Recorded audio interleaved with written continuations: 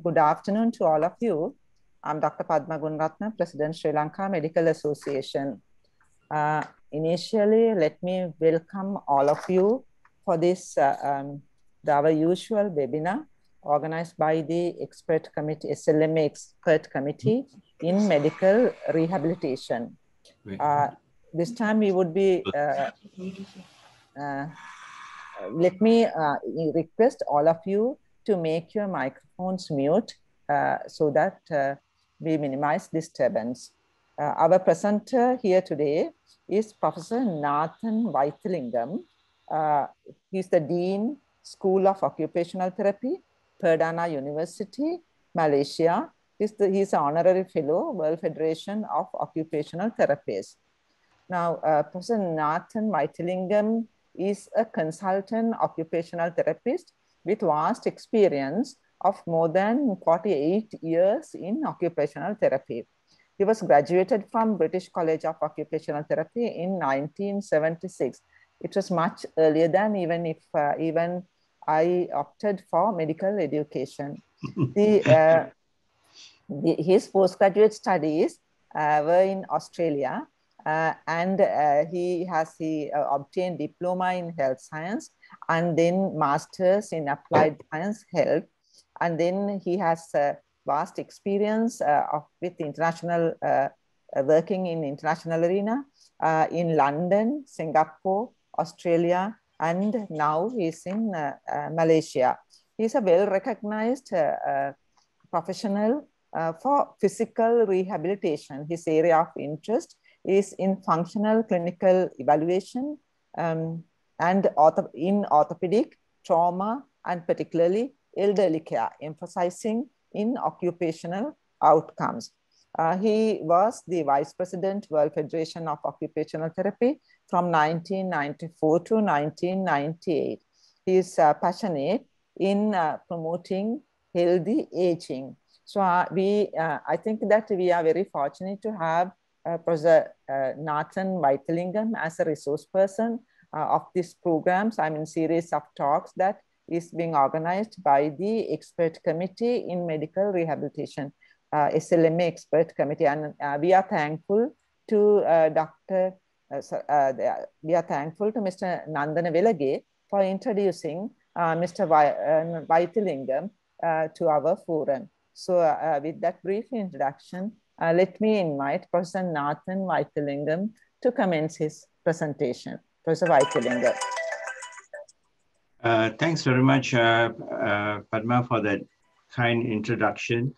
Um, I, I know it's about 12 noon there. It's going to be lunchtime soon, and we are moving on to tea time here. You have about two and a half hours difference.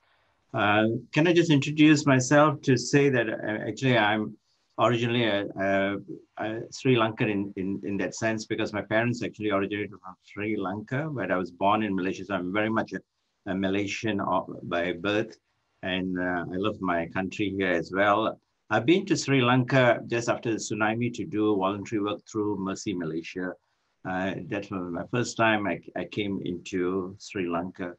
Um, I would like to uh, thank you all for inviting me to give this, this small, uh, short presentation about healthy aging. And I'm sure that's a new frontier in the next uh, arena in terms of uh, globalization that's taking place uh, you know, health is one of the most important, uh, crucial point. Uh, I must also introduce that I'm with Perdana University. We are a, a, a, medical university. I started off originally. Now we have got other professions as well in, the, in our university. Uh, we have got uh, two programs. One is the Royal College of Surgeons of Ireland, which is uh, the five-year medical degree program. And we also have a graduate entry program for medical students. So with, a, with a, obviously it's a first degree you must have to get admission.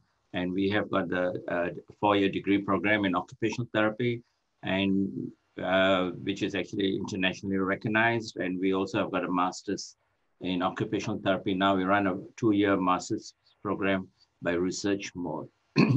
so that gives you an indicator of, of Perdana University where I'm at the moment working. Uh, can I just uh, share my slides with, with you all? Uh, um, yes, yes. Uh, do you need assistance or could you?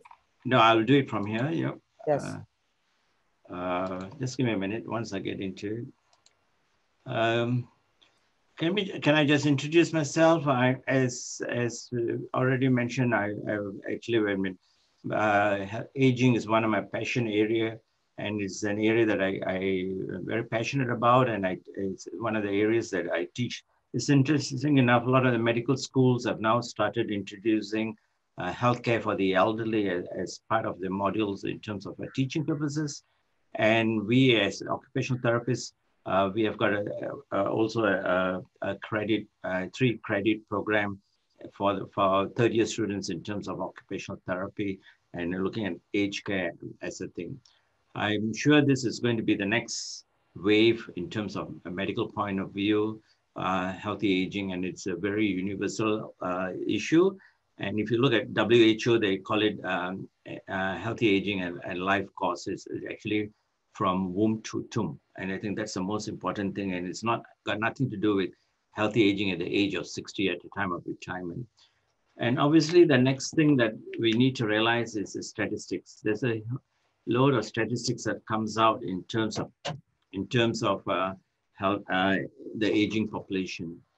Now, when you when you when you look at at uh, the aging population, obviously obviously you must understand the proportion of that grows. And if you look at the things, Asia is the, the fastest growing actually. Forget about uh, Europe. Europe has gone through it. Amer the Americans have gone through it. We are the ones that need to really focus on that. And you look at it, it's predicted by 2050, the older po population will outnumber the number of young people in the developed countries. So that's one big area that we need to realize. Yeah? Uh, sorry. Yeah, so if you look at it um, statistically, obviously it shows the rise in, in uh, the yellow indicator shows a rise in the Asian countries itself.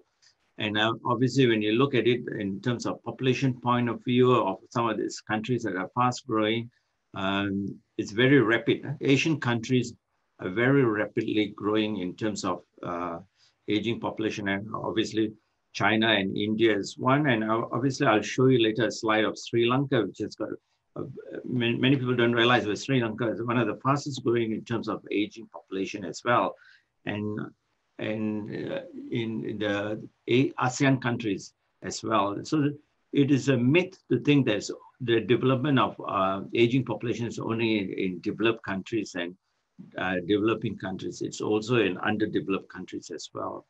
So some of the countries that you looked at is obviously Singapore has got the, the fastest rapid growing, but obviously the population is, uh, you know, they, are looking at about 3.4 million people there, but it's, uh, it's about to reach about 26% in 2030 itself.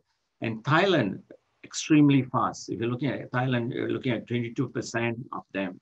And obviously Vietnam is also fast. So many, most people never realize the development of these Southeast Asian countries in terms of aging population.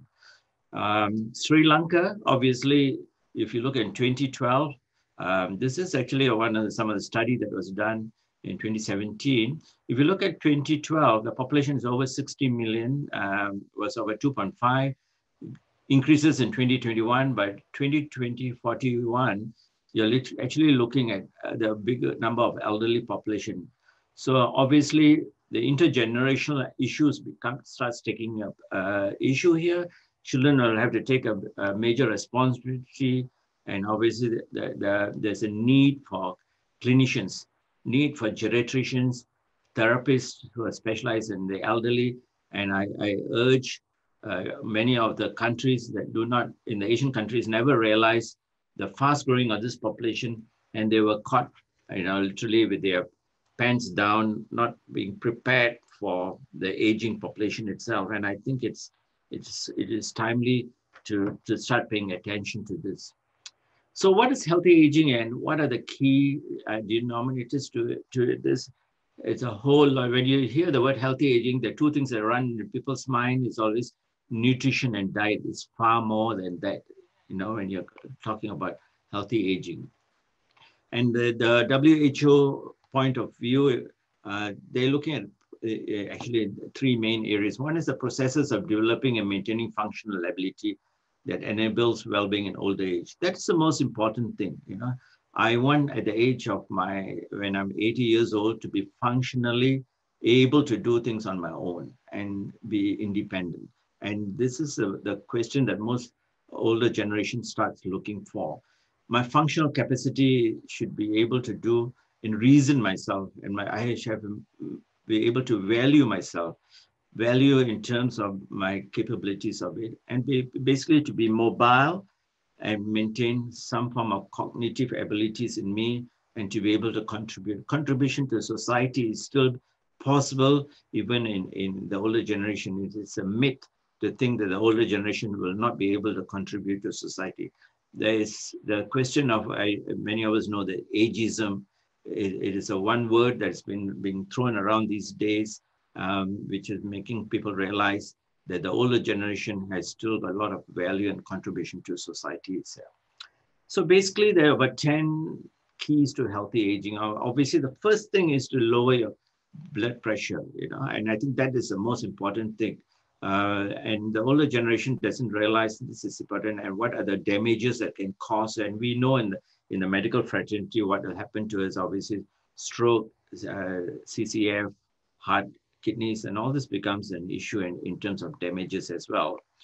So it's important to look at lowering your systematic blood pressure. You know? And obviously with that, 90% of those are likely to get those between the age of 55 to 60 developing hypertension. So this is where the aspects of issues of illness processes start taking place. And obviously the, the fact, this factor needs to be taken in. So that would be a first step to look at in terms of point of view with the older generation. We know that what happens to us when uh, it helps full when we stop smoking, you find that you know the, it is obviously if you're looking at the guides obviously the number of things that happen to you you, you know within 20 minutes uh, your heart rate drops to a healthier level when you quit smoking you know they're looking at the carbon monoxide level within you and obviously when you start looking after Uh, a period of time your re reduction in cva is there and you're looking at, at the risk factors of cardiac diseases etc so smoking cessation is one of the things, and it's easy for us in, in a clinical setting to tell a patient, you've got to stop smoking. But nobody tells you how to stop smoking. And that's the, the thing. It's easy to use words like stop smoking, stop drinking, and everything to our, our patients or clients.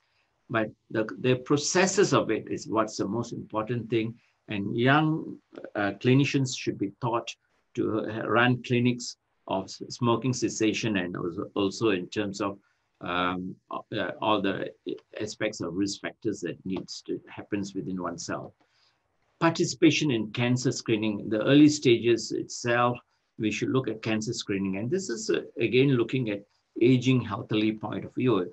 The type of cancer that, and obviously we know the, uh, the CA prostate is so common among men these days, and they need to be made aware to go for proper screening. And this is one of the common issues you may find. I'm not sure, in Sri Lanka, we find this in even in Malaysia. A lot of the um, men, men do not go for screening and they take it that this is not uh, why me. It's never going to happen to me. It's always happening to somebody else, you know, and that's a common challenge that takes place. In and I think even in women, proper screening in terms of CA, of breast, and all those sort of things is so important to go for, for uh, memo, regular mammograms when it comes to SNA. And these are something that could be easily been avoided once we know that if we can pick up cancer in the early stage itself. You know, so the, there's a 11-fold rise incidence of de in developing cancer as compared to younger individuals once you're above a certain age. And this is something that we need to realize. So breast cancer, prostate, lung, colon cancers, all these are quite common uh, these days that you need to look at. So the seniors should realize this and you need to look at proper screening uh, of, of, for cancer. So we need to take steps to prevent cancer, you know, looking from tobacco point of view, getting away from physical active, cutting down alcohol. There's so many, uh, you know, I can go down the list. And these are something that we should really be advocating to the lay public about the importance of it. So health promotion, health education is a key tool, you know, and the public health people play a tremendous role in this. And, you know, it's, it is worthwhile running short, uh, you know, educational courses and programs for the public more than anything else to make them the importance of it. So the earlier cancer is found is that's more likely to be treated successfully, and we know that. Immunization, we talk about this now because of COVID-19 is there. But influenza and pneumonia are the two main things that we need to realize and uh, inform our older population. And most of us know that the death of most of the older generation is because of pneumonia, you know, and influenza. And these are, again, a preventable uh, processes if they can be vaccinated earlier and a regular vaccination of a yearly vaccination. Most of the time, healthcare professionals do not even talk about vaccination for the older generation itself. And this is need to be looked at. Uh, so its importance towards healthy aging is one of the things that is coming up with the Global Coalition on Aging and also um, with the WHO or the importance of uh, immunization for the older generation between for influenza and pneumonia itself. COVID-19 has changed everybody's life in many ways. Uh, the older people need to be prioritized and they need to receive uh, COVID-19 vaccines in many areas around the world. And we need to look at that uh, on a regular basis and encourage them as well to come out of it.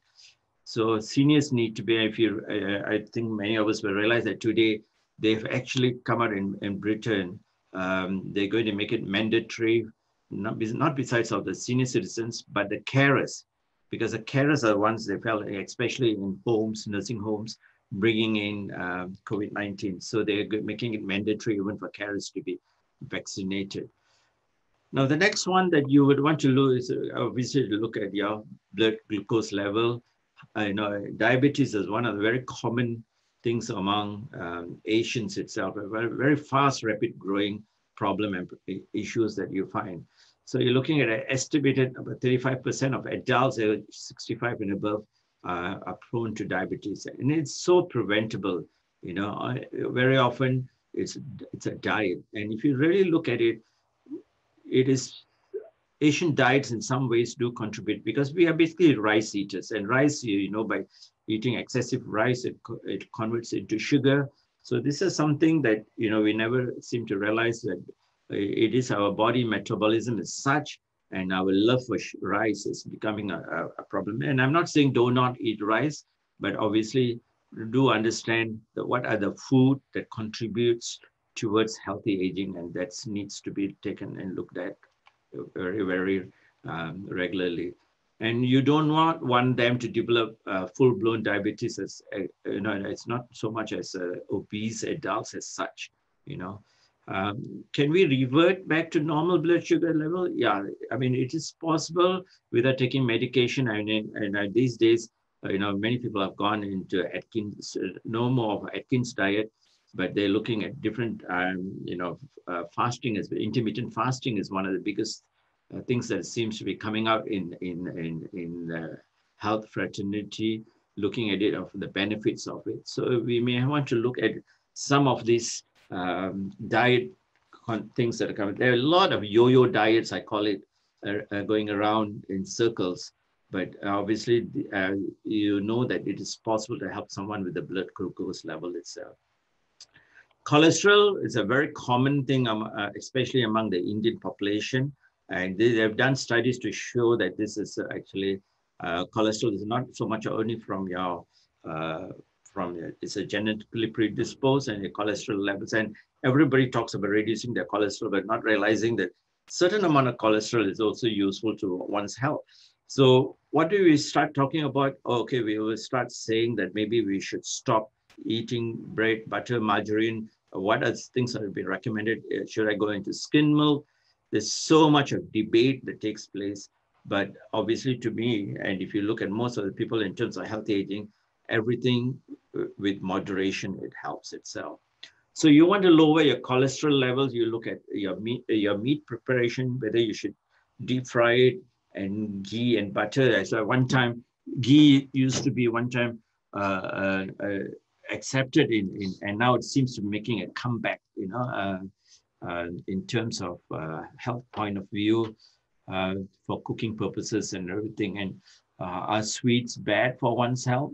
You know, as I said, there's no such thing, anything that's bad, anything in moderation.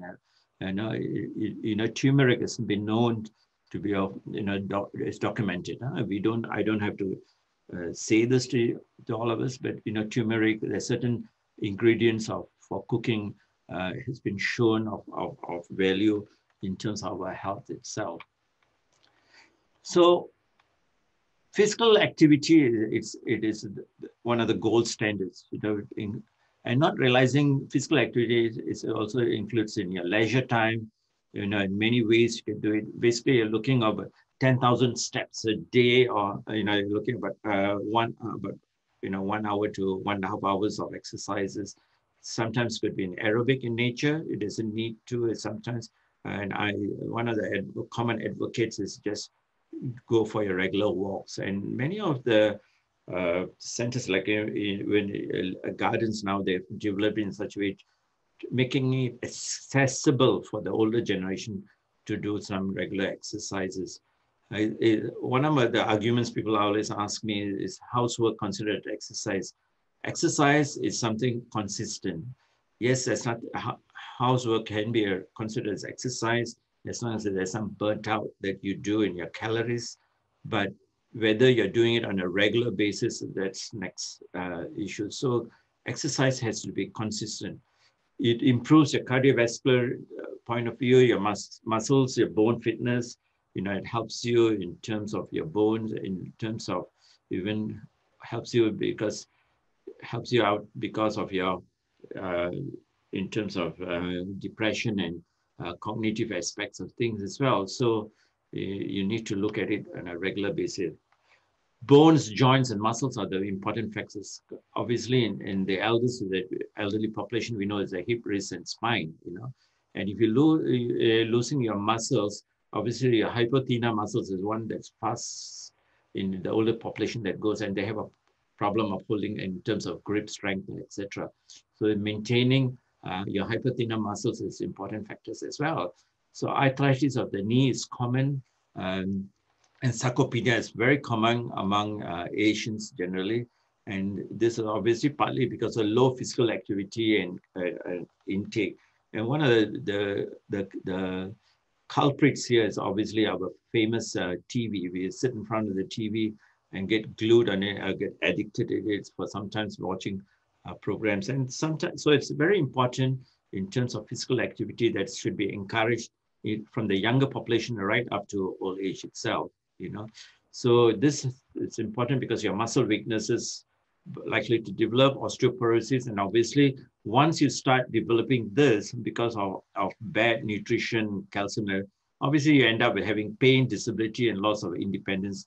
And obviously that leads to death inside common places where you have injuries because of your bones is obviously studies have shown is in, in, in terms of um, community development basically is because of uh, it's in the bathroom. So, you know, most common uh, places where old people fall and injury is so high, uh, you're looking at about 80, 81% of this is likely to uh, happen. So uh, the, the toilet accessibility is so important and strategies for making it accessible and making sure it's a safe environment itself.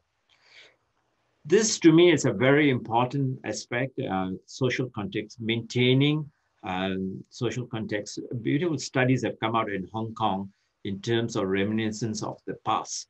You know, and this is so very important where you get uh, older generations sitting together and talking about their past and what they've experienced in their past and uh, listening to them. They, and you'll be how, surprised how enriched the people ha have been because of, of, talking to you about their past itself. And this is where a lot of uh, people in the rehab arena uh, encourage social interaction. And you're looking at community settings. Daycare centers are very useful and we need to encourage more daycare centers, not just having a daycare center, people sitting in front of a TV, but carrying out structured activities. And sometimes it could be reminiscence activities that are useful itself. And this is a beautiful thing that comes out. Depression is not a normal part of aging. Many people say, oh, it's common when you get old to get depressed. Why should you get depressed? just because you're, you know, the important thing is to feel good and enjoy aging. You know, I feel that most of us do not enjoy aging. We all look at aging as, as if it is uh, taboo. It is uh, it's going to be a, a, sad thing in your life when you get old. It doesn't need to. Uh, so depression is something that you need to combat. Depression and loneliness of aging itself. Dementia is again not a normal part of aging. People will tell you, oh, she, uh, she can't remember because she's aging. That's normal. Know? No, it can be in any way be helped to be uh, may not to, ex, uh, to accelerate it fast, to assist them in, into this. And very often you find that the is happening mainly in the low and middle income countries, and you're looking at about 10 million new cases per day. This is again uh, not my figures, but WHO figures. You're looking at uh, you know overall with dementia, it's very fast growing um, um, again in uh, developing countries itself because a lot of uh, emphasis is not looking at structured activities for these people, and that's so very important. So you're looking at in, in, in Sri Lanka, you're looking at the dementia by 2050, look at the rise that takes place.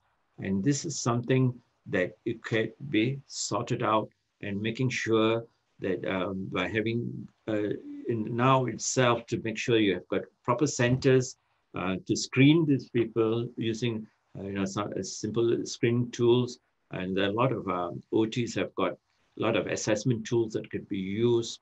And again, um, this is something that we can help to prevent them from deteriorating very fast itself. So we need to understand a lot of uh, memory lapses that we have. And just because you have one memory lapse doesn't mean you're suffering from Alzheimer's. Uh, you need to screen it. You need to make sure that they are there so the most important thing is, uh, you know, to, you know, some of the things that go is through misplaced items, forgetting names, forgetting where you left your house key or whatever. And that does not mean I've got Alzheimer's. And you need to do proper screening. And this is where your, uh, your geriatricians and psychogeriatricians are so important to get into. And this is something that uh, the country and developing countries need to build up the capacity of professionals in this field. So a healthy lifestyle is the one that helps to reduce the risk, but it does not mean that you will not get, but you can actually prevent it from deteriorating rapidly. It's important to keep brains active and your cognitive abilities as well, you know. Uh, that's so important. You need to look at learning something new uh, helps. The, the studies have shown learning a new language, it helps.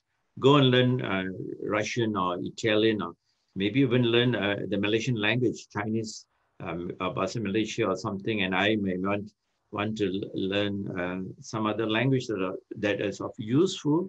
So please understand volunteerism is also a very useful team that keeps you going. Reading is is uh, uh, enriches you and so much. And these days, online games, you know, so any activity that keeps you uh, engaged mentally it's something that you want. And obviously having friends to play board games helps as well.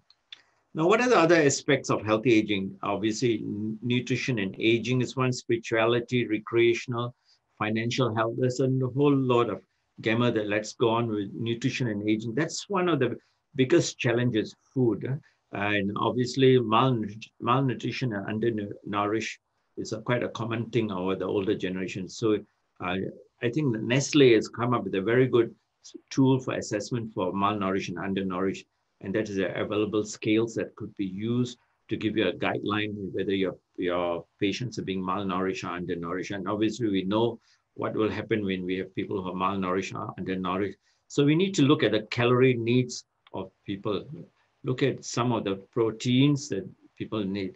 Obviously, calorie need will obviously will help to strengthen your muscles and muscle mass uh, you need to look at some of the grains. I mean, I always say some of these uh, look very Western in terms of food, diet, and anything. There's a need for the dietitians to look at what are the value of some of the local food itself, you know, and you find that as, that will and make sure that the people can afford those sort of uh, food.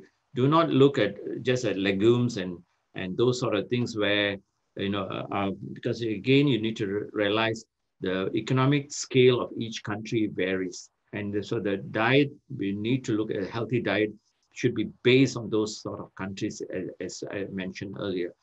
Dental health, the, I, can, I can assure you the last time many of us would have gone for dental screening for ourselves, uh, unless you have got a toothache, you do not go to a dentist. And this is something that we know that the, the risk factors, because once the dental aspects go down in, in our patients or the older generation, obviously the problem starts when malnutrition, undernourished takes place because they do not want to chew their food or eat their, and this sort of thing. So regular dental checkup is so very important and we should actually encourage in, in a medical fraternity, make it a mandatory thing to assist the older generation in relation to this. It's like going for a yearly health screening. You must make the, the dental screening on a, on a regular basis as well.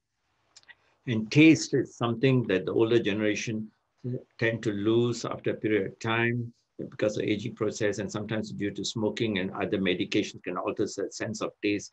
So these are some things that we need to, and I find that the use of herbs and spices to enhance the flavor of the food assists tremendously, you know. I mean, if you look at your, the, the, the, uh, your cooking and if you are worried about uh, your high blood pressure, then cut down your, your salt but add in more spices into your cooking and that gives you the, the taste itself. So there are many ways um, to skin a cat. So you can play it in many ways around to help the older generation.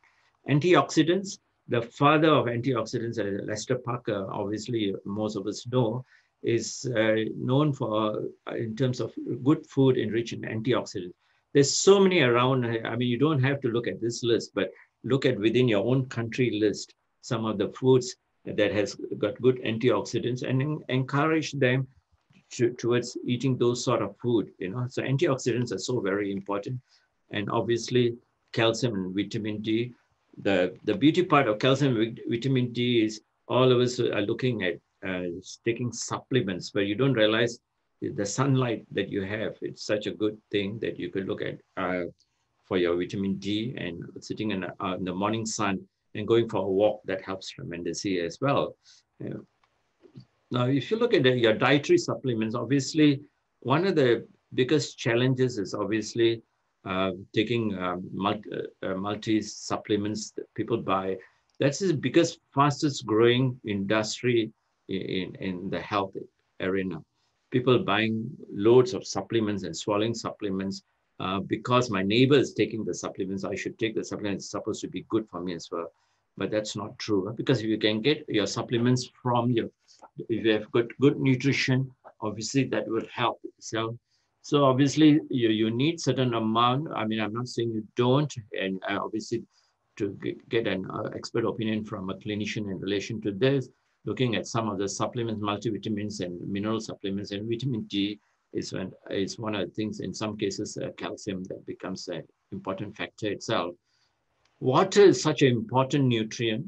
Um, you know, uh, I'm, I'm very glad to see a lot of younger generation these days carrying water bottles and walking around because they realize that the, the importance of water for oneself and in terms of um, requirement for your body to, to keep yourself hydrated all the time, you know, so that's a very important thing. So water is, is an important tool.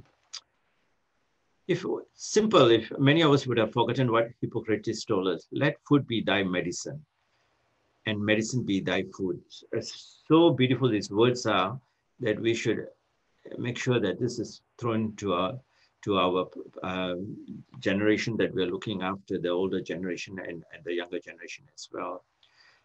I just want to add a few things extra. One is spirituality and aging is so very important. And the, the aspects of uh, you know your body mind uh, is so very important and cultivating energy levels into oneself. And this helps to decrease feeling of helplessness and control of people. Spirituality is not just religion; it's actually uh, especially understanding yourself and looking at your inner peace within yourself. And that's so very but then there are a lot of doc, uh, very good documented studies coming out on the value of women's spirituality and, and, looking in terms of uh, ability to, to work itself. So there are many types of spirituality uh, practices. meditation is one, yoga, you know, mind body exercises, Tai Chi, Qigong, you know, these are the very well known um, value of, of uh, uh, mind and body exercises and the documented studies on the value of yoga, Tai Chi, and Qigong published in very, good uh, medical journals as well. And it's uh, well studied as well. Aging and recreation, you know, it is not all work, work, work. You need to enjoy what you do in life, whether you're playing games or gardening has become very useful. Painting has become, a, I mean, uh, becoming a very interested hobby for many of the young. I find that a lot of retirees now uh, uh love going, uh, taking uh, photography is becoming an in thing now. Looking at bird watching, there's so many different recreational activities one could do um, in, in a community setting so that you've also got inter uh, relationships. In, in um, it, it's beautiful to have intergenerational uh, recreational activities. That goes extremely well in, in many ways. So for them, the recreation point of view, it increases health and fitness, socializing. They're learning new skills as well. You know, so this is something useful anytime that you're learning something um, that is interesting, uh, builds up your abilities and obviously an environment and lifestyle itself. Why do we do uh, recreation? Something it's just basically uh, gives you a positive feeling when you do something uh, in, in leisure that you enjoy your, what you're doing. And that's fine. If you like taking a book, sitting down and reading, um, having a cup of coffee uh, on your own, that's a, a recreational thing that it doesn't need to be all the time physical in, in nature itself. So that becomes a positive value for you uh, in terms of uh, aging point of view. Financial health, this is one of the biggest challenges WHO is now realizing and is facing a lot of the older generation, is that when you age, you do not have enough money for yourself in terms of to uh, maintain yourself with age. And financial health is so very important, even taking an insurance coverage for yourself for old age, looking at, uh, especially in terms of long-term care. These are some of the things that one should start looking at it and countries should start developing. If you do a survey, and I'm sure that you, um, even in Sri Lanka we do, you'll, you'll find there's so many people have not even have got enough savings for old age. Uh, is similar even in Malaysia that we have found that a lot of them use up their EPF savings, the employment provident fund savings. They do not have anything for old age itself. So you may want to look at this as, as a thing. And obviously you can't come at the age of 60 and say, look, I'm looking at my financial. Obviously, this is a long-term thing, and you should be inculcated. We are looking at healthy aging across the board from the younger generation to the older generation. So there's some form of things that you need to learn. Some of the financial issues faced by is obviously is going to cause poverty, uh, you know, the run of fraud, some of the healthcare costs, the job, poor job markets, and so many other things that leads them to debt. And this is uh, some of the things that um, studies have shown that's happening to the older generation, especially now with the COVID-19 epidemic and people losing their jobs, it's making it worse. Uh, and this is a, a, a, global thing that's affecting a lot of people as well. Um, and the stricter lockdowns is not help, helping them. They become vulnerable, low financial aspects of, and the older generation, we should encourage uh, most important thing is digital literacy, you know, and preventing them from declining in terms of cognitive abilities. Just a couple of days ago, the, I think it was World Abuse Day, um, World Elderly Abuse Day, and I think this is again a worrying thing that's happening. You know, you need to know who your eldest friends are, or who your father or mother who's living alone, their friends, always you need to get a good financial advisor. And one of the common things is obviously to report the aspects of uh, financial abuse of the older generation. You're looking at 16% of, of the age of, are subject to some form of elder abuse in uh, which has been done and looked at in certain areas itself. You're looking at financial abuse uh, among the family members with the older generation. So there's so many issues in terms of financial abuse that takes place among the older gener generation itself. Caring for the aged, that's a, a, a, you need to train carers to look after the older population. So you need to certify uh, them to run a short courses worthwhile doing short courses to train carers to look after the older generation.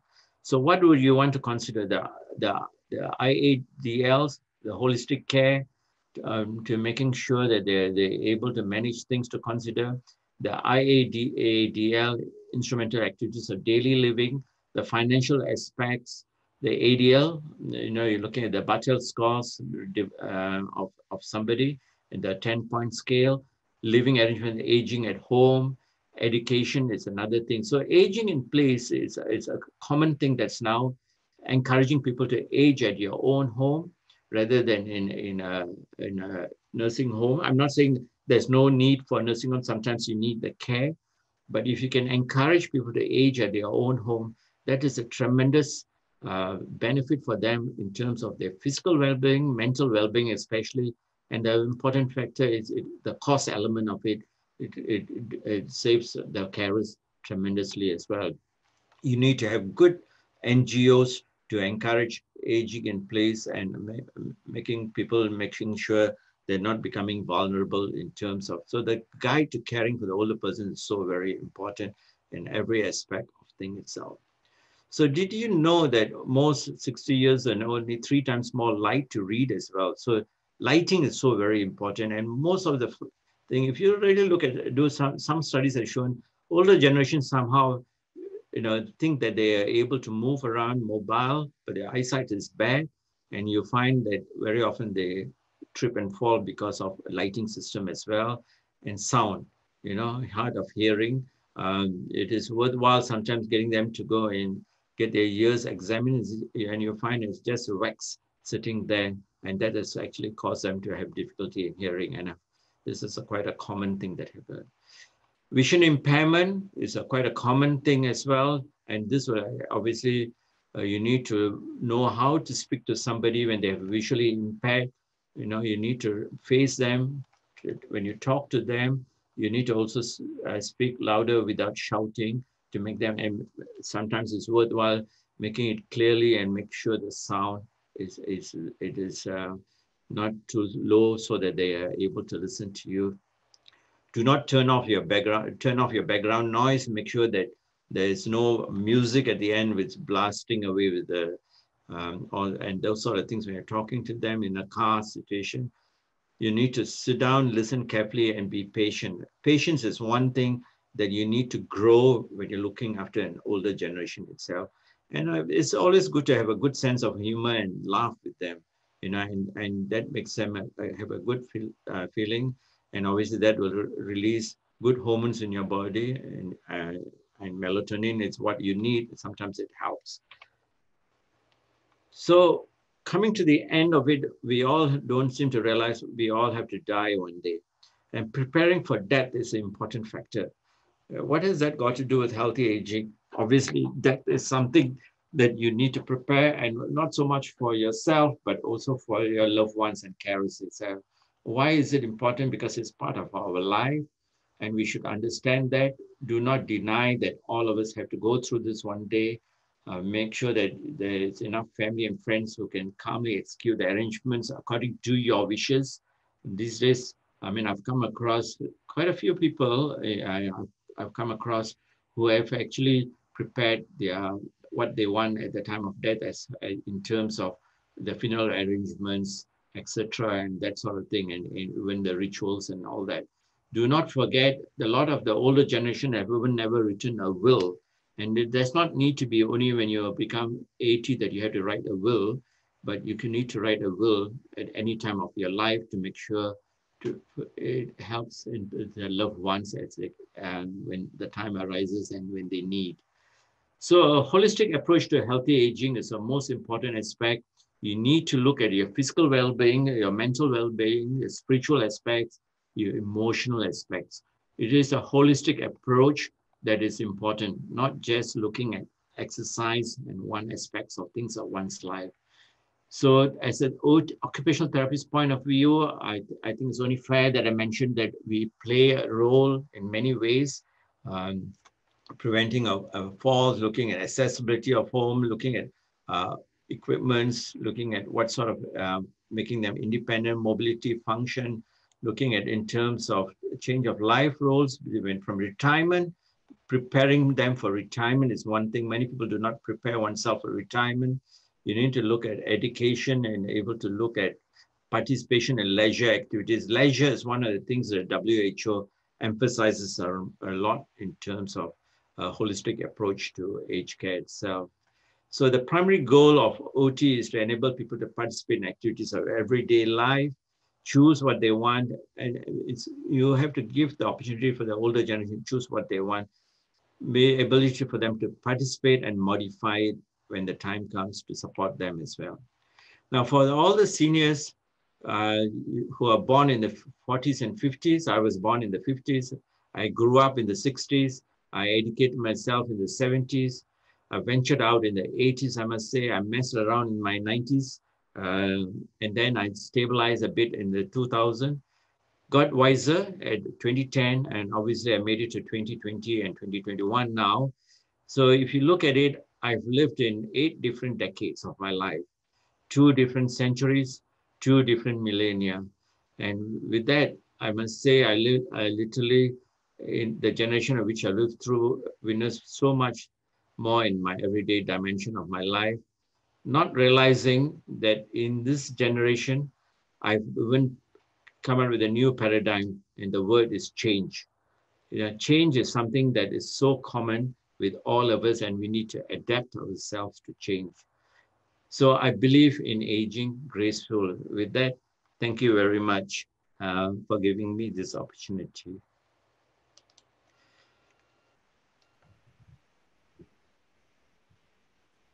Thank you very much, Prof. Vytialingam, uh, for that excellent talk on uh, healthy aging. I think uh, that is something uh, that we uh, really need to know. And also, uh, like, it's a new topic, even in Sri Lanka. There are trainings in geriatrics at the moment. Fantastic. So, so there are like few questions posted in the chat, chat box. The yep. first question uh, is on the definition of an aging person the, in the current context. Okay. When do we actually start aging? If you really look at it, uh, I, uh, this is one of the few questions I throw to my students. When do you start aging? And they all come out and say, when, when I retire, when I reach menopause, when I reach andropause, you know, they come out with everything. Actually, when you look at it, there's so many uh, theories on aging. And one of the most common ones that says when your growth spurt stops. So when you're looking at aging, you're looking at when your growth spurt stops, that means you're looking around in the 17 and 18, you actually start aging already. So that's how one should classify it. But the sad part is everybody looks at aging as, as if at a time of 60, they, I mean, the cutoff point, WHO takes at 65. In certain countries, they take at 60. And if you look at some of the underdeveloped countries, people do not even live to up to 60 you know so i would suggest that you know uh, you can also look at aging at, at the time of conception. And if you go back you can say it's the time of uh, your development of a cell. So there's so many theories of aging. So, i mean that's a separate lecture i can give it to you on aging. Thanks very much. Okay so uh, then there's another question. As i mentioned uh, earlier that sri lanka has geriatric trainees at the moment uh, the doctors are being trained. And uh, yeah, I, I, am not very familiar with the, the curriculum there, but actually what uh, this person uh, who's uh, Dr. Balasuriya says is that uh, there, should there be a component in the community to train these doctors? I think at the moment they're being trained in the hospitals, institutionalized training. Brilliant. I think it's a very good question. Yes. Uh, we do it in, in uh, we have we do it in, in Malaysia. We run quite a number of public health programs, looking at, the government is, uh, emphasizes a lot on aging aspects of things now because they realize that we're moving to an aging nation. So one of the things is, is I think it has to be made mandatory in medical schools, uh, nursing, and especially in allied health professional fields that the, the, the, the important to include that in the curriculum, you know. And obviously, um, you, you need to also start looking at uh, coming up with programs for uh, subspecialization for these people, not just doctors, but even the nurses and everything looking at geriatric care. Um, allied health professions looking at, at um, senior citizens care. You know, there's so much uh, that could be done. But you need to start off somewhere. And one of the things that we did in, in Malaysia is we have got a couple of NGOs running towards looking at aging. And one of the things is the Malaysian Healthy Aging Society that we have got.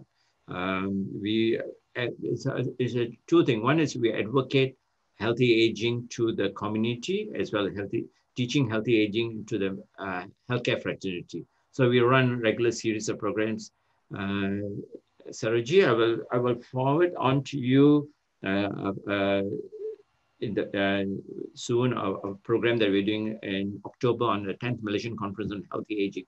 yeah, is, I will share it with the. You got that, yeah. yeah. So you know these are these are things that you can actually start off um, within the uh, medical fraternity itself, because you will be surprised a lot of medical fraternity fraternity do not understand what healthy aging is. You know, so it is a good time to start off somewhere to teach our own healthcare professionals first before you can teach the community and train the trainers. That's one of the ways to go about train the trainers and carers. Yeah, and I think there's one more question where um, actually about this is about the policy uh, on addressing the aging and as well as the the government uh, sector and how how do you develop a policy at the regional or the global level basically mm -hmm. i mean yeah actions. Fantastic. That's a good question. I think one of the things is advocacy is one important area. And I think the, the it, it starts from, from within oneself, one's own environment that where you work, start off building up those sort of things. And uh, one of the things I would suggest is, uh, I mean, obviously the, the Sri Lankan Medical Council or the association can start looking at this and, and bring it up to uh, to the uh, people who are the policymakers and everything. If you look back, you know, in the US, when uh, the aspects of mental retardation, when did it start developing uh, as, as a big thing there? It's only when Kennedy uh, uh, announced, uh, former John F. Kennedy announced that he's got a sister who's mentally challenged. And then everything starts moving. You know, people realize that the, the someone prominent has come out mentioning about it and that developed. Some countries, the if you find the, the prime minister or the president of the country has got a certain illness processes, it develops extremely fast. So the council, uh, so policies can be developed. It's not so much of the policies, whether you have the policy and whether you're, you're going to make sure the policy gets down to the ground level. That's the most important thing. You can pass a lot of laws, but these are things that, but it is worthwhile starting off uh, now itself because it's worth looking at, at it. And sometimes uh, NGOs help tremendously. NGOs play a fantastic role in all this, you know, and you may want to get some consultants to help you out to come up with some policy making issues in different areas itself. Uh, we, have, we have just come up with our Age Care Act, uh, the law, you know, uh, uh, looking at uh, nursing homes, the guidelines to how nursing homes should be set up, those sort of things. If you look at um, uh, age-friendly cities, I mean, I, I always, I mean, I've been to Colombo, I always think to myself, it can become a, such a beautiful age-friendly city. And because that, what, what would the benefit of it be? It, it encouraged tourism, you know, because then the older, because the baby boomers are the ones who got the money to travel and they would use that to come and they know it's an age-friendly city and it's not hard to make uh, it become an age-friendly city by just following some of the guidelines and principles of it. Also, there's um, something about uh, uh, important aspect about poor socioeconomic situation in inadequacy and inadequacy of privacy for elderly with associated uh, limitations uh, of personal relationships, including uh, sexuality. I think that part is also brought up by one of the doctors yeah. who are participating. So I, I, I, I, I fully agree. Um, one of the uh, things that is very often neglected is intimacy and aging. Uh, people think that the older generation can uh, intimacy stops when they start having grandchildren, which is not true. You know, um, This, uh, I mean, people look at it as a taboo subject. It's difficult to talk to. Uh, you find that in, in terms of, uh, we run a program called Sexuality and Disability. Uh, you know, because looking at stroke patients, looking at uh, my amputees, looking at, and so I've actually got a module in my curriculum called Sexuality and Disability for my uh, final year students itself, how to take a good sexual history and, and that sort of thing with people with disability. And one of the things is obviously in aging is one big area as well. Um, I, I, just saw somebody was asking, you know, in terms of educating people with menopause, you know, and menopause, because again, uh, the, the, so much of myth uh, in terms of menopause and uh, sexuality. And these are short courses that could be run for the, for the healthcare professionals to make them create awareness of it. I think very short, simple, uh, like a one day seminar, two day seminar to, to highlight to them some of these issues. And that would be useful to start before. In Chiang Mai, they've got a, a, a master's, uh, sorry, in uh, uh, University of Chulalongkorn, they've got a program called Masters in Sexual Rehabilitation, a two-year program. You know, these are uh, someone could be attending those sort of courses and then coming back to the country and and making sure that these programs run uh, on a proper. Um, it is it is taking an initiative in looking at some of the issues. We know in in, a, in our in our training program some of these issues, but we do not seem to realize the importance of it because it could even save a marriage sometimes. Uh, Thank you very much. I think that's uh, very interesting and important uh, for us to sort of uh, develop the curriculum in such a way that geriatrics is part of our curriculum as well. Uh, I think Madam Padma is also heavily involved with this uh, subject Fantastic. because she is, she is still the president of geriatrics. We have association uh, of geriatrics and there are some symposiums conducted. I'm sure that what you told yeah. Sort of implemented there. So uh, once again, on behalf of the SLMA uh, Expert Committee in Medical Rehabilitation, I would like to thank Professor Vytialingam for that excellent lecture and a very comprehensive lecture, which gave a lot of insight to all of us. And hopefully uh, you will be able to join us, join with us in future as well with uh, this sort of symposia and uh, maybe once you visit Sri Lanka when this situation is sorted, sorted hopefully you can have a physical meeting somewhere. Thank you very much, Professor Vytialingam. And I would like to thank Mr. Nandana Welage for introducing you and uh, so, yeah, sort of uh, inviting you to do this lecture. Thank you very much. And thank, thank you very you. much. I mean, it, it is a pleasure having spoken to you all and uh, I'm, I'm sure that, you know, if you need some more in terms of uh, programs like this, we are most willing to help you. I'm, I'll be able to identify, identify couple, I've got a couple of good colleagues of mine in the university. I'm sure they'll be most willing to give a couple of talks in relation to different spectrums or different areas. And uh, we look forward to working with you all in the near future in, in you know, in, in terms of university collaboration is again another possible things that we could do. So with that, I'd like to thank you all. I'm sure one fine day we will meet somewhere, sometime, someplace. Yeah, very, very soon. Thank you. Thank you very much. Thank you.